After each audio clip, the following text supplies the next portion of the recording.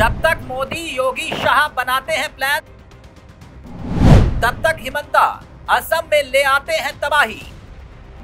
मुस्लिम देश कहते हैं, ठहरो ठहरो हिमंता। हेमंता कहते हैं, मदरसों को तोड़ो, आतंकियों को पकड़ो।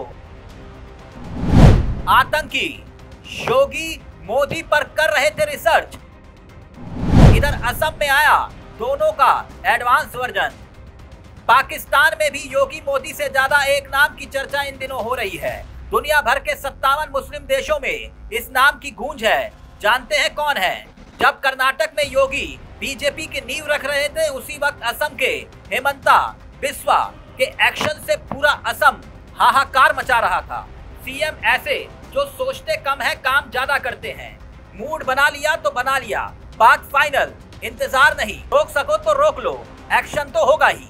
असम के मदरसों पर बुलडोजर ऐसा चल रहा है जैसे मोदी ने साल 2019 में पाकिस्तान के आतंकी बंकरों पर सर्जिकल स्ट्राइक की। सीएम हेमंता इतने नाराज़ क्यों हैं? मदरसों में ऐसा क्या छिपा है? हेमंता क्यों ऐसा कर रहे हैं? ये देश के लिए क्या खतरा है? असम के मदरसों पर इतना एक्शन क्यों हो रहा है? मोदी ने सीएम हेमंता को खुली छूट दे दी। बंगाल, बांग्लादेश, पाकिस्तान में क्यों खलबली मची है? वो हम आगे आपको बताएँगे। दरअसल हेमंता के आदेश के बाद एक महीने में तीन तीन मदरसे टूट गए। सीएम के आदेश के बाद असम में ताबड़तोड़ गिरफ्तारी और एनकाउंटर का ज़ोर है। मदरसों पर बुलडोजर का सिलसिला चल रहा है।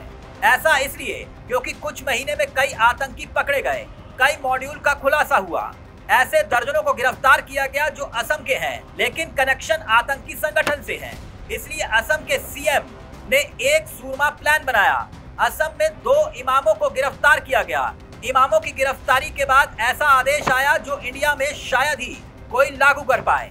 समझिए जरा, कोई भी बाहरी राज्य से मुस्लिम स्कॉलर या इमाम आएगा तो उसकी रिपोर्ट सरकार को देनी होगी।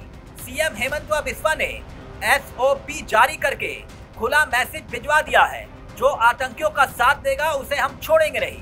कोई संदिग्ध मुस्लिम को रिश्तेदार बनाकर बुलाता है तो घर भी टूटेगा। ज़िंदगी जेल में सड़ जाएगी। अब तक असम में सैंतीस संदिग्धों को गिरफ़्तार किया गया है।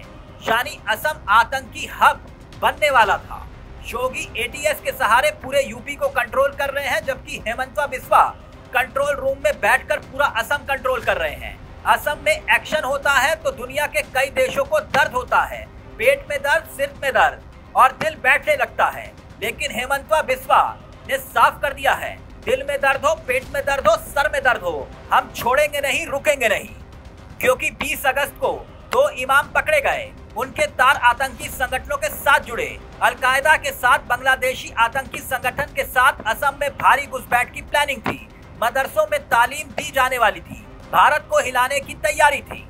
दरअसल अलकायदा नाम के आतंकी संगठन के निशाने पर असम है, जो दावा करते हैं, गो टू असम और इंडिया को वहीं से कंट्रोल करो। हेमंता का एक्शन राष्ट्र के नक्शे के लिए ज़रूरी है क्योंकि पिछले कुछ दिनों में अलकायदा के 30 आतंकी गिरफ़्तार हुए। अब एक्शन में देरी हुई तो बहुत बड़ी चूक हो जाएगी। हेमंतवा बिस्वा देश के पहले सीएम है, जो कहते हैं मुस्लिम अल्पसंख्यक नहीं है। उन्हें इसका लाभ नहीं मिलना चाहिए।